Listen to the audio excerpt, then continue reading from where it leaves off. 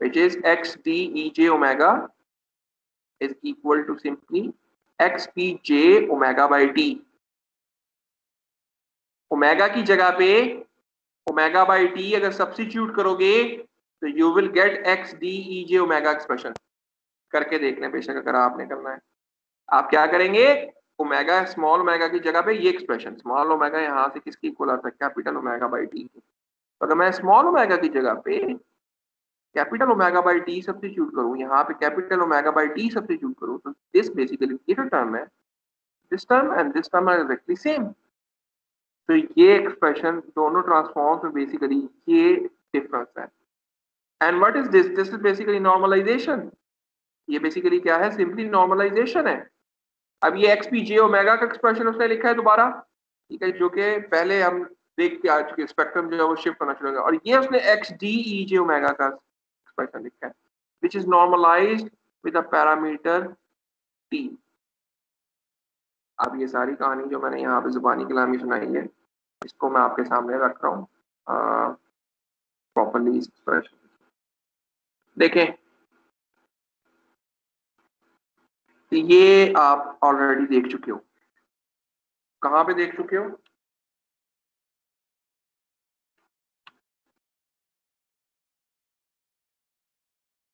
ये क्या मैंने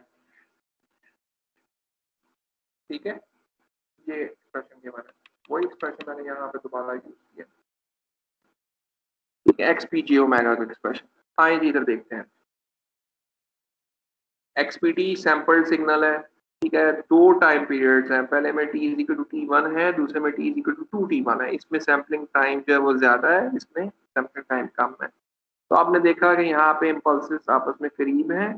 यहाँ पे इम्पल्सिस एक दूसरे से दूर है, ठीक है? यहाँ पे ये है टी, ठीक है? और यहाँ पे टी बेसिकली ये क्यों? Because T is equal to T one T is equal to T one two T one की अगर आप वैल्यू वन भी ले लो तो यहाँ पे टी टू वन और यहाँ पे टी टू तो यहाँ पे से okay and then this is the final expression कि, उसके बाद जब मैं नॉर्मलाइजेशन करता हूँ तो जहाँ पे टी टू टी आ रहा है, वहाँ पे बेसिकली क्या आ रहा है? Zero one two three four इस तरीके से। पे ज़ीरो टी टू आ रहा है, वहाँ पे zero one two three four आना शुरू हो जाएगा। बेस्ड अपॉन द आपके सिग्नल की कंस्ट्रक्शन होगी। Now the question is कि यार ये जो एक्स डी ई जो जो यहाँ पे नॉर्मलाइजेशन की है फ्रीक्वेंसी डोमेन में इसका क्या इम्पैक्ट आता है? इसका क्या विजुलाइज किस तरह कर सकते हैं? देखें ये आप लोग ऑलरेडी देख चुके अच्छा ये रेपिटेशन है अगेन एक सिग्नल है, ये उसका स्पेक्ट्रम उन्होंने अज्यूम कर लिया। एक्स पी जे ओमेगा आप लोगों को ऑलरेडी पता है। एक्सपी जे ओमेगा क्या था? जहाँ जहाँ पे ओमेगा एस है, ये ओमेगा एस है। क्या होता था एक्स पी जे ओमेगा में? कि जहाँ जहाँ पे बेटा ओमेगा एस है, वहाँ वहाँ पे स्पेक्ट्रम को ले जाओ अपने। और उसको स्केल कर देते थे वन बाई टी वन से। अब यहाँ पे जो कि सैम्पलिंग टाइम कम था तो स्पेक्ट्रम एक दूसरे से करीब है। ठीक है? क्यों? क्योंकि यहाँ पे हमने कहा था टी इक्वल टू वन है। यहाँ पे हमने कह दिया टी इक्वल टू टू है।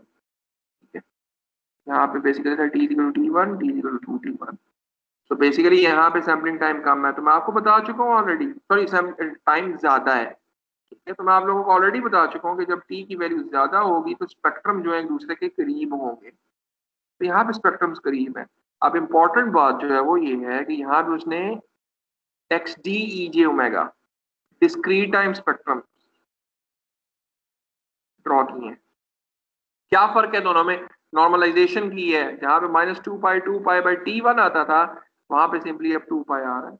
यहाँ पे two pi by T two आता था, वहाँ पे अब सिंपली टू पाई आ रहा है। तो that is the implication on the spectrum ये बाई वाला प्रॉपर्टी कौन सी है? अगर आप लोगों से पूछ लिया जाए, ये प्रॉपर्टी ये वाली है।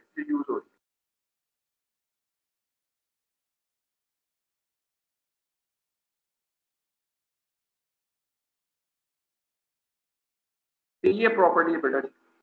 यूज़ हो रही यहाँ पे ए की value basically one over T के इक्वल है। ए की वैल्यू इस पर्टिकुलर एग्जांपल में वन ओवर टी के इक्वल है, जो कि हम यूज़ कर रहे हैं। तो सिंपली आपने स्केलिंग कर दी है। ठीक है? फ्रीक्वेंसी स्केल्ड वर्जन आपके पास यहाँ पे जनरेट हो रहा है। नॉर्मलाइजेशन का इम्पैक्ट ये हम क्या चीज़ स्टडी कर रहे हैं? हम स्टडी ये कर रहे हैं कि इस स्टेज से इस स्टेज पे जाने में, जहाँ पे आपने नॉर्मलाइजेशन की आपके फ्रीक्वेंसी डोमेन में क्या इम्पैक्ट आता है? तो ये आपको ऑलरेडी नॉन है। ये आप लोगों को ऑलरेडी पता है। ये चीज़ आपके लिए न्यू है। स्केलिंग हो रही है यहाँ पे ठीक है? फ्रीक्वेंसी स्केलिंग हो रही है। आपके पास स्पेक्ट्रम्स आप देख रहे हो एक दूसरे के मजीद करीब आ गए So this is the relationship between, remember this relation, discrete time frequency, continuous time frequency. जब सैम्पलिंग करते हो तो इस तरीके से आपस में रिलेटेड होते concluding slide. Conversion of a discrete time sequence to a continuous time signal. वापस D to C conversion किस तरह होगी? D to C conversion में आप उसी तरीके से प्रोसेसिंग अच्छा अब मैं वापस अभी हमने क्या एक्सप्लेन किया? हमने ये चीज़ एक्सप्लेन की है। ठीक है, जहाँ पे हमारे पास एक्स ई एन जनरेट हुआ। फिर कोई डिस्क्रीट टाइम सिस्टम में से पास करेगा, कुछ प्रोसेसिंग होगी और फिर डी टू सी कन्वर्जन है। अब D to C conversion explain कर रहा है। Conversion of discrete time sequence to impulse train उसी तरीके से इम्पल्स ट्रेन में पहले आप लोगों ने टी से डिवाइड किया था, अब आप टी से मल्टीप्लाई करोगे और उसके बाद उसको लो पास फ़िल्टर में से पास कर दोगे। जो इस तरीके से उसकी कट ऑफ़ फ्रीक्वेंसी है तो you will get back the original signal system for filtering a continuous time signal using discrete time filter, ये सारे का सारा प्रोसेस मेरी आवाज़ जो आप लोग सुन रहे हो? दिस इज़ माय इनपुट जो मैं बोल रहा हूँ this is the output which you are listening बीच में ये सारा का सारा सिस्टम है, जिसको हमने फ्रीक्वेंसी रिस्पॉन्स कर दिया है। सिंपली अगर मैं इसको लिखना चाहूँ, what is happening is x, sorry, y, c, t output जो कि आप सुन रहे हैं इस टाइम पे that is simply equal to input जो कि मैं यहाँ से बोल रहा हूँ convolve with H of T H of T क्या है? ये पूरे सिस्टम का इम्पल्स रिस्पॉन्स है। यहाँ हम ये कह देते हैं कि H of T is simply H C इसको भी यहाँ पे सी नोटेशन यूज़ करेंगे ठीक है? तो ये पूरे सिस्टम का इम्पल्स रिस्पॉन्स है। तो पूरे सिस्टम के अंदर क्या क्या आता था? मेरी आवाज़ को सबसे पहले यहाँ पे इम्पल्स ट्रेन सैम्पलिंग हो रही है। We multiply our signal. Okay, let me summarize. Continuous time signal which i am speaking when it goes into my microphone there is an analog to digital converter what does it do it will multiply my signal with an impulse train function and will generate a sampled continuous time signal. Then sampled continuous time signal will be converted into a sequence to the normalization. Okay, what we are going to do is we are going to do this frequency scaling, normalization, and this is a discrete time signal. Then this discrete time signal, which is my audio now in a sampled state, will be converted into the packets, will be converted into the bits, will be transmitted to the internet to your device, and your device will receive my uh, voice in a form of packets. Then what will happen? This is my voice received at your end now. My voice will be converted back into an impulse train. वापस impulse train में convert होगी by multiplying it with the T now and then this sampled output signal. This will be passed to a low pass filter and after that ideal reconstruction is happening and you are listening to my voice. This is the overall system for filtering a continuous time signal using a discrete time filter.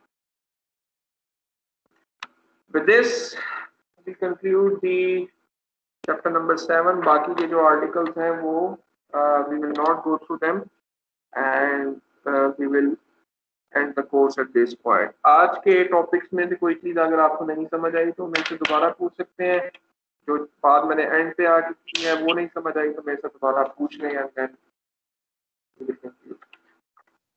sir last class में आपने तीन reason पूछी थी। आपने कहा था कि next class पर आपने मार्क्स लगाना तो वो रीजन मुझे आप अगर आप क्वेश्चन की हाँ जी हाँ जी हाँ जी हाँ जी बिल्कुल बिल्कुल। ओके तो वो डिस्कस कर लेते हैं पूछ लेते हैं अगर किसी को पता है तो वो आंसर दे के मार्क्स दे सकता है। अभी तक जिन लोगों ने रिस्पॉन्ड नहीं किया वो रिस्पॉन्ड करेंगे आज के लेक्चर में। Okay ji there were couple of question जो कि मैंने लास्ट टाइम आप लोगों से पूछे थे। द फ़र्स्ट क्वेश्चन वाज कि किसी भी ऑडियो सिग्नल को रिकॉर्ड सॉरी ऑडियो नहीं कहना चाहिए किसी भी म्यूजिकल सिग्नल को रिकॉर्ड करने के लिए, गाने, गानों को रिकॉर्ड करने के लिए यूजली जो हम सैम्पलिंग फ्रिक्वेंसी यूज़ करते हैं, वो सैम्पलिंग फ्रिक्वेंसी होती है तकरीबन forty four point one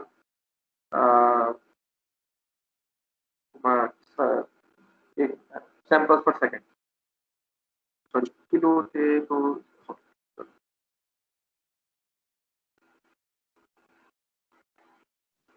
yes sir एक गाने गाने को म्यूज़िक सिग्नल को रिकॉर्ड करने के लिए जो कि एनालॉग सिग्नल है एक म्यूजिकल सिग्नल को एनालॉग सिग्नल को रिकॉर्ड करने के लिए जब हम उसकी सैम्पलिंग करते हैं तो हम four four one zero zero samples per second use करते हैं। मेरा क्वेश्चन ये था कि ये टर्म कहाँ से आती है? सर अब जैसे हम हमें पता है कि सर जब हमने नेक्स्ट सैम्पलिंग थ्योरम हमने जो पढ़ा था सर उसमें हम कहते हैं कि जो मैक्सिमम फ्रीक्वेंसी है तो उससे सर हमारी जो सैम्पलिंग फ्रीक्वेंसी होनी चाहिए वो दो गुना से ज़्यादा होनी चाहिए मतलब कि टू गुना से ज़्यादा होना चाहिए। तो सर हमारी जो ह्यूमन की जो हेयरिंग मतलब फ्रीक्वेंसी है वो हमारी ट्वेंटी टू ट्वेंटी किलो होती है। तो सर हमारी जो जो सुनने की फ्रीक्वेंसी है सर वो ट्वेंटी किलो हर्ट होती है ज़्यादा जो हमारी जो सैम्पलिंग फ्रीक्वेंसी होगी वो ज़ाहिर की बात है उससे दो गुना ज़्यादा होगी। इन ट्वेंटी किलो हर्ट्स का डबल जब सर फोर्टी किलो हर्ट्स होगा। तो सर उससे हम ज़्यादा रख सकते हैं मतलब कि हम फोर्टी फोर पॉइंट वन इसलिए रखते हैं ताकि सर हमें एक मतलब के सही आवाज़ मतलब कि उसको रोल नंबर सर 98 98 जो मेरे दोस्त ने कहा मैं रिपीट कर रहा हूँ। देखिए ह्यूमन ऑडिबल रेंज जो है ह्यूमन ऑडिबल रेंज का मतलब ये है कि हम कितनी फ्रिक्वेंसीज को सुन सकते हैं। ठीक है? हमारे जो कान है हमारे जो ईयर्स हैं वो कितनी फ्रिक्वेंसी रेंज को सुन सकते हैं। दैट इज़ फ्रॉम पता नहीं ज़ीरो से नहीं है शायद? ट्वेंटी से लेके ट्वेंटी किलो हर्ट हाँ ट्वेंटी से ट्वेंटी किलो हर्ट की जो फ्रिक्वेंसी रेंज है ना ये these frequency range we can actually hear इनको हम सुन सकते हैं। ठीक है? अब देखो नाइकिस क्राइटेरिया ये कहता है कि आपको अगर सैम्पलिंग करनी है प्रॉपरली तो जो सैम्पलिंग फ्रीक्वेंसी है that should be twice the maximum frequency of your signal अब म्यूजिकल सिग्नल में इसका मतलब है 20 किलो हर्ट से ऊपर की फ्रीक्वेंसीज भी हो सकती हैं एक म्यूज़िक सिग्नल के अंदर, लेकिन वो हम चूँकि सुन नहीं सकते तो उनको स्टोर करने का कोई पर्पज नहीं है। देखो, जो चीज़ आप सुन सकते हो, जो फ्रीक्वेंसी रेंज आप सुन सकते हैं, आप वही स्टोर करेंगे ना, ठीक है? तो यूजली हम क्या करते हैं क्योंकि हमारे कान जो है वो 20 किलो तक की फ्रीक्वेंसीज को हियर कर सकते हैं तो हम कहते हैं कि जो मिनिमम सैम्पलिंग फ्रीक्वेंसी होनी चाहिए, हम क्या कहते हैं omega should be greater than two times omega M या F S should be greater than two times F M ठीक है? सो मैक्सिमम फ्रीक्वेंसी 20 किलो है तो सैम्पलिंग फ्रीक्वेंसी हम यूजली रखते हैं greater than two into twenty thousand जब मैं इसको करता हूँ तो ये फोर्टी थाउज़ेंड बनती है। इसी वजह से हम usually forty four one zero zero sampling frequency रखते हैं। ठीक है? This would ensure that we can reconstruct back our signal without any aliasing और उसमें ये तमाम फ्रीक्वेंसी रेंजेस मौजूद होंगी। ठीक है? ये रिकंस्ट्रक्ट बैक आइडली हो जाएँगी। इस वजह से नॉर्मली जब आप गानों को रिकॉर्ड करते हैं स्टूडियोज के अंदर तो मिनिमम सैम्पलिंग फ्रीक्वेंसी इतनी तो रखनी ही पड़ती है। जो हाई क्वालिटी ऑडियो होती है, उसमें सैंपल्स इससे भी कई ज़्यादा होते हैं, ठीक है? इससे भी कई ज़्यादा सैंपल्स आपके पास आप रिकवर स्टोर करते हो। तो ये रीजन है। अच्छा अब मेरा क्वेश्चन आपसे ये है कि क्या होगा अगर लेट से लेट से मैं कहता हूँ कि मैं अपने गाने को रिकॉर्ड करूँगा, लेकिन मेरे पास सैंपल्स होंगे thirty thousand samples per second पे। तो क्या हो सकता है मेरे सिग्नल के साथ? बताएँ। रिकंस्ट्रक्शन नहीं हो सकती सर। रिकंस्ट्रक्शन तो हो सकती है। मैंने आपके सामने रिकंस्ट्रक्ट करके अंडर सैंपल अंडर सैंपल होगा। अंडर सैंपलिंग कर रहा हूँ ठीक है। सर ओवरलैपिंग हो जाएगी। ओवरलैपिंग जो सिग्नल जो सिग्नल रिकंस्ट्रक्ट बैक होगा उसमें क्या डिफरेंस होगा? क्या वो ओरिजिनल सिग्नल ही होगा? सर फ्रीक्वेंसी कम होगी। फ्रीक्वेंसी कम होगी। फ्रीक्वेंसी कंपोनेंट्स उसमें कम होंगे। कौन से फ्रीक्वेंसी कंपोनेंट्स उसमें काम होंगे? कौन से फ्रीक्वेंसी कंपोनेंट उसमें नहीं होंगे? सर जो ओवरलैप हो जाएँगे। जो ओवरलैप हो जाएँगे कौन से फ्रीक्वेंसी कंपोनेंट्स ओवर यहाँ अगर मैं तुमसे ये पूछूँ कि इस रेंज में 20 से 20 किलो हर्ट्ज के दरमियान अगर मैं ये सैम्पलिंग फ्रीक्वेंसी यूज़ करता हूँ तो कौन सी फ्रीक्वेंसी रेंज नहीं आएगी? तो क्या आंसर दोगे?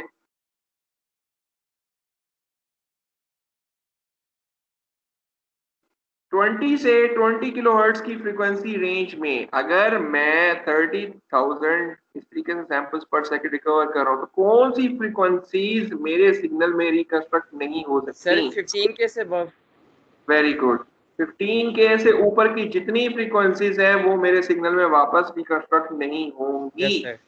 रोल नंबर बताओ अपना। 55 55 उसकी रीजन ये है कि वो सारी की सारी एलाइजिंग के अंदर आ जाएँगी। एलाइजिंग से क्या होगा कि ये तमाम फ्रीक्वेंसीज 15 से लेके 20 किलोहर्ट्ज के दरमियान जो फ्रीक्वेंसीज हैं, ये अपने आप को अपीयर करेंगी एज अ लो फ्रीक्वेंसीज ठीक है? ये वापस 0 20 से 15 किलोहर्ट्ज के अंदर मैप हो जाएँगी एलाइजिंग हो जाएगी तो ये बाकी फ्रीक्वेंसी रेंज से आएगी।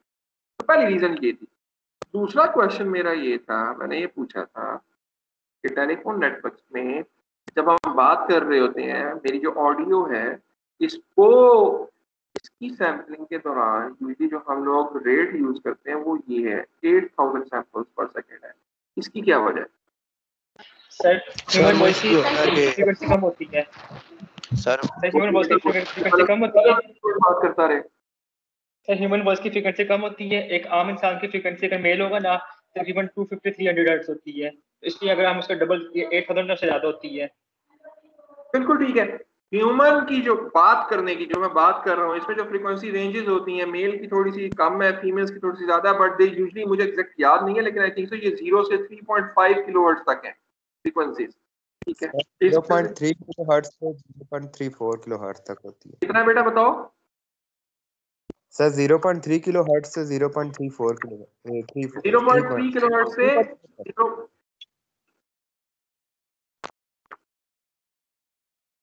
दोबारा बोलो बेटा 0.3 किलोहर्ट्ज से। सर 0.3 किलोहर्ट्ज से 4 किलोहर्ट्ज तक। फोर किलोहर्ट्ज तक ओके सो फोर किलोहर्ट्ज का मतलब ये है कि हमारे पास 4000 इज़ द मैक्सिमम फ्रीक्वेंसी तो sampling frequency F should be greater than equal to two times FM so इस वजह से यूजुअली हम 8000 सैंपल्स पर सेकंड की सैम्पलिंग फ्रीक्वेंसी यूज़ करते हैं टेलीफोन नेटवर्क लास्ट क्वेश्चन जो मेरा था लास्ट टाइम वो ये था कि वीडियोस के अंदर जो फ्रेम रेट होता है वो यूजुअली 25 फ्रेम पर सेकंड से ऑनवर्ड स्टार्ट करते हैं। मिनिमम 25 फ्रेम पर सेकंड हम रखते हैं। इसकी क्या रीजन है? सर वो 50 हर्ट्ज क्योंकि हमें फ्रीक्वेंसी हमारे मुल्क में यूज़ हो रही है ज़्यादा तो इसलिए वो 25 एफपीएस रखते हैं इसलिए ताकि वो 50 हर्ट्ज को मैच कर दें ओए मेरी जान मेरी जान। कहाँ से उठाया सवाल और कहाँ पे ले गया? मेरा मतलब है कि खोते खोड़े बिल्कुल बराबर करके रख दिया आपने अपने जवाब में। 50 हर्ट फ्रीक्वेंसी है आपकी वोल्टेजेस की या करंट की। मेरा सवाल बिल्कुल मशरक है और आपका जवाब बिल्कुल है। मैंने ये पूछा है कि वीडियोस के अंदर फ्रेम रेट जो है वो 25 फ्रेम पर सेकंड क्यों होता है? जिसका दूर दूर तक फ्रीक्वेंसी जो आपने मुझे बताई है उसे कोई लेना देना नहीं। है जो न्यूज़ के लिए स्टैंडर्ड फ्रीक्वेंसी इसका आंसर मैं आप लोगों को खुद बता देता क्योंकि इसका आंसर प्रॉब्ली आप लोगों को नहीं मिला होगा। तो ये इमेज प्रोसेसिंग से थोड़ा सा रिलेटेड है।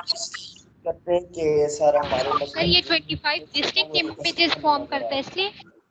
क्या बेटा बताएँ? सर हम ये इसलिए use करते 25 डिस्टिंक्ट इमेजेस फॉर्म करता है।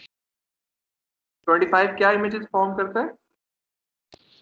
डिस्टिंक्ट यूनिक नहीं।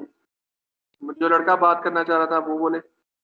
सर ये हमारे वीडियो की मिनिमम स्पीड होती है जो होनी चाहिए जिसपे हमें जो हमारी पिक्चर्स हैं वीडियो के अंदर जो शो हो रही होती हैं वो एक रियल मोशन की फॉर्म में शो हो। अगर इससे कम होगी तो हमारी ये हाँ, ठीक है। मोशन हो जाएगी। अगर इससे कम होगी तो क्या होगा? सर वो लैग करेगी वीडियो हमारी फिर। लैग करेगी। तो ये तुम्हें किस तरह पता चला कि यहाँ पे 25 फ्रेम जो है वो काफ़ी है? सर ये सर्च किया था थोड़ा इससे पता चला था। ठीक है रोल नंबर बोलो। 109 109 देखो इसने बात बड़ी अच्छी की। इसने कहा कि अगर 25 फ्रेम पर सेकंड से कम अगर हम फ्रेम्स रखते हैं ना तो हमें मोशन शो नहीं होगी। हमें लगेगा कि यार ये कॉन्टिन्यूस मोशन नहीं है। देखो वीडियो जो आप देख रहे होते हो बेसिकली इमेजेस होते हैं ना। हम इमेजेस को एक पर्टिकुलर स्पीड के ऊपर प्ले करना शुरू करते हैं और आपको ऐसा लगता है, यार कॉन्टिन्यूस मोशन है। ठीक है, यानी कि ये कॉन्टिन्यूस टाइम सिग्नल है। हालाँकि सिग्नल तो डिस्क्रीट टाइम है। वीडियो जो है डिजिटल वीडियो जो आप लोग अपने कंप्यूटर या अपने लैपटॉप मोबाइल्स पे देखते हो, वो डिस्क्रीट टाइम है। कॉन्टिन्यूस टाइम नहीं है, लेकिन उसकी फील कॉन्टिन्यूस टाइम की आती है मोशन आती है। तो 25 फ्रेम पर सेकंड मिनिमम आपको फ्रेम चाहिए। अगर आप इसे कम करोगे तो आपको महसूस होना शुरू हो जाएगा कि यार, एक फ्रेम के बाद दूसरा फ्रेम आते वो थोड़ा सा डिले है। ठीक है? ये एक कॉन्टिन्यूस मोशन नहीं है।